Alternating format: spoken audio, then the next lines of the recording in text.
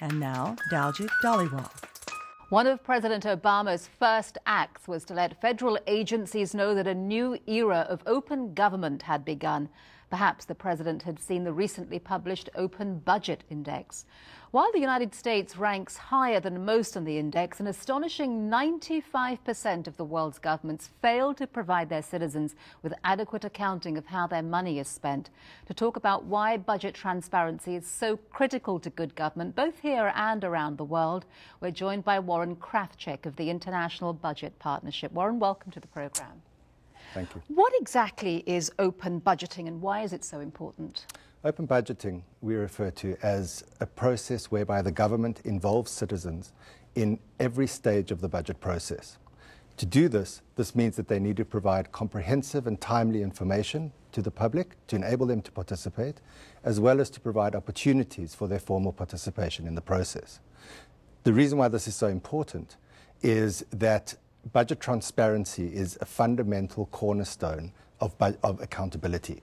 And transparency and accountability are fundamental to providing efficient and effective government services. So, share some examples where there's both positive and negative of how the way a country budgets affects the quality of the lives of uh, its citizens. Well, let's start on the positive side. So, in the case of Mexico, for example, increasing public provision, in, in, increasing provision of information to the public has allowed civil society organizations to take up the case of women who die during childbirth. Mexico has one of the highest rates of maternal mortality in the world. When civil society organizations started becoming interested in this in 2003, the government did not provide sufficient funding to meet its commitment to eliminate rural maternal mortality. By having the information available, civil society could talk to the press, could talk to parliament, and could eventually talk to the executive and this led to a 900% increase in the amount of money that the government spends on maternal mortality. To see the opposite case, one only has to look at Nigeria, one looks at Equatorial Guinea, for example, to look for examples how lack of transparency provides enormous opportunities for governments to hide unpopular spending and for waste and corruption to occur. Waste and corruption mean fewer resources are available for poverty expenditures. So, what kind of examples did you find in Equatorial Guinea, for instance? Well, the Equatorial Guinea government, in particular the president and his family, seem to have a penchant for houses overseas. Malibu and many other countries, Clifton Beach in South Africa is a second one. So somehow they seem to be providing sufficient resources to do that. In um, Nicaragua, for example, the failure of the Nicaraguan government to account for the aid funds that it, that it receives from Venezuela has enabled the Nicaraguan government to increase its military expenditures in a way that's totally unaccounted to in its public. What kind of trends are you seeing that explain uh, overall the lack of government transparency? Well, the, the overall finding is that the lack of government transparency around the world, as you indicated, is deplorable. In 80 of the 85 countries that we've looked at, government does not provide sufficient information for the citizens or the public more broadly to be able to hold the government accountable for how they use the public's funds. That's the bad news. The, the good news is that over the last two years, we found examples of at least eight countries that have significantly improved their budget transparency performance, and a number of other countries, 10 in all, that have provided more minor but important improvements in budget transparency. Well, President Obama has, uh, of course, made um, right. openness in government a priority of his administration.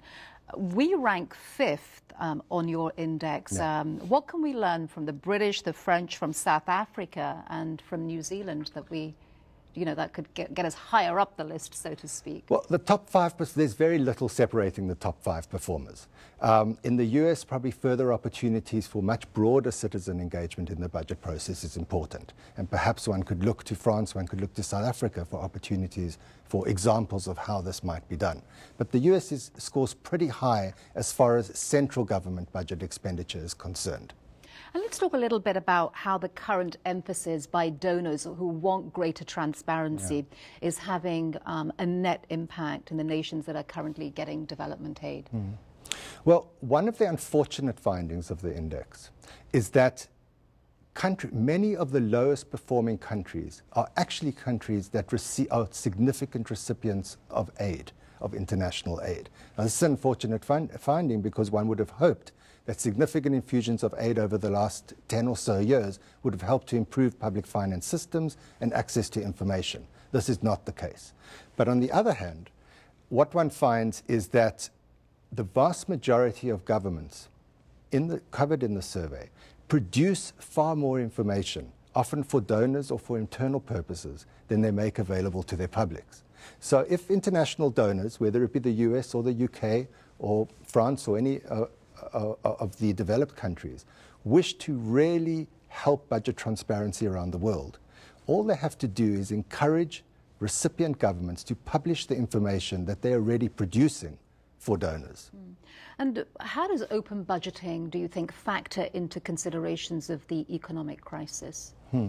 I think the questions of open budgeting are going to become even more important because of the economic crisis. The economic crisis, as it hits developing countries, is going to imply far less revenue for those countries, whether that's because of less domestic taxation or whether it's because of decreased international aid.